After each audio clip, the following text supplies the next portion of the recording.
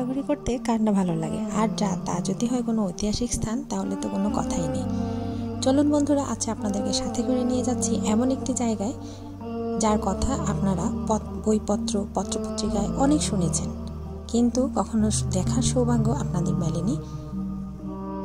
এমন একটি জায়গায় আজকে আপনাদের নিয়ে যাব এবং তার সাথে তার ইতিহাস সম্পর্কে আপনাদেরকে পরিচিত করিয়ে দেব।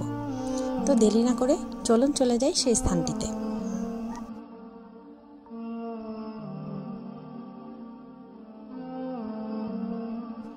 নোয়াখালী জেলার মেয়ে হিসেবে আমার নিজেরই কখনো এমন একটি ঐতিহাসিক স্থান আমার জেলাতে থাকা সত্ত্বেও কখনো দেখার সৌভাগ্য মেলেনি।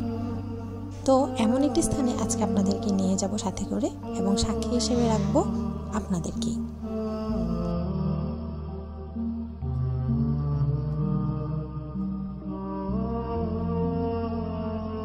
আজকে আপনাদের যে স্থানটি দেখাবো তা আপনারা অনেকেই শুনেছেন, বজরা জামে শাহী মসজিদ নামে।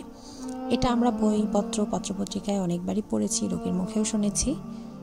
তো আজকে বলে দিব এখানে যাওয়ার যে লোকেশনটা রয়েছে, সেটা হচ্ছে সোনাইমুড়ি থেকে আপনারা অল্প কিছু দূর গেলেই আপনারা দেখতে পাবেন বজরা জামে শাহী মসজিদ।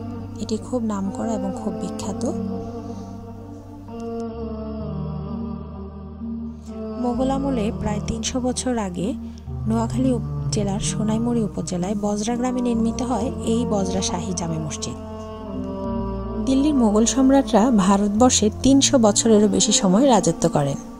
এই দীর্ঘ সময়ে মোগল সম্রাট ও তাদের উচ্চপদস্থ আমলারা বিভিন্ন স্থানে ইমারত ও মসজিদ নির্মাণ করে থাকেন। তাদের স্থাপত্য শিল্পের একটি অন্যতম ও উজ্জ্বল নিদর্শন হচ্ছে এই বজরা শাহী জামে মসজিদ। উনিশশো আটাশ সালের মাঝামাঝি সময়ে বজরা জমিদার খান বাহাদুর আলী আহমদ ও ও খান বাহাদুর মজিরুদ্দিন আহমদ মসজিদটি মেরামত করেছিলেন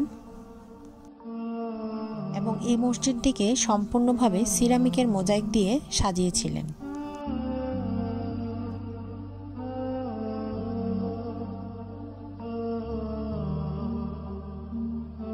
উনত্রিশ নভেম্বর উনিশশো আটানব্বই সাল থেকে বাংলাদেশ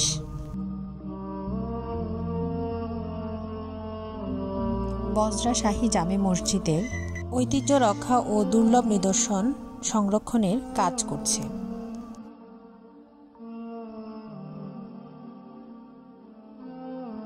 মসজিদটি সুরক্ষিত স্থানগুলোর তালিকাতে রয়েছে আমাদের দেশের অন্যান্য দর্শনীয় স্থানগুলোর মধ্যে এটি একটি অন্যতম।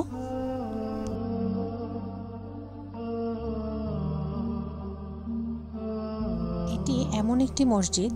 এই মসজিদে এলেই দর্শনার্থীদের মন জুড়িয়ে যায়।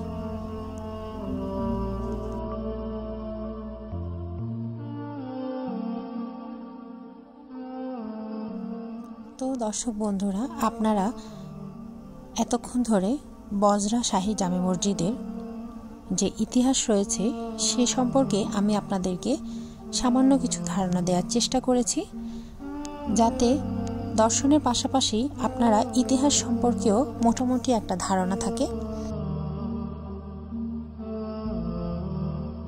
তো বন্ধুরা, আজকের মতো এ পর্যন্তই। আপনাদের কাছ থেকে বিদায় জানিয়ে আজকের মতো ব্লগটি এখানেই শেষ করছি। আশা করছি আজকের ব্লগটি আপনাদের ভালো লেগেছে, আর ভালো লাগলে অবশ্যই চ্যানেলটি সাবস্ক্রাইব করে রাখবেন।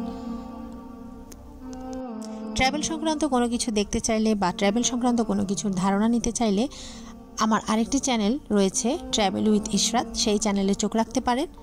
চ্যানেলটি ভালো লাগলে চ্যানেলটি সাবস্ক্রাইব করে দেবেন আর ফলো দিয়ে রাখতে পারেন ট্রাভেল সংক্রান্ত যেই কোনো ধারণা যেই কোনো আইডিয়া আপনারা পেতে চাইলে।